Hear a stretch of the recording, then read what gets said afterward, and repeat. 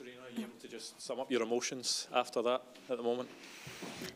Well, um, of course, I'm very, very disappointed. That's the biggest emotion I have right now. Yeah, well, I think we we delivered tonight. I think we delivered this camp in this December camp. Um, the team showed lots of character uh, this game too. Like we started really well. We scored four goals in the in the first half. So it, I said to the, the players too. I thought when when Lucy scored that goal, I thought we're going to get this.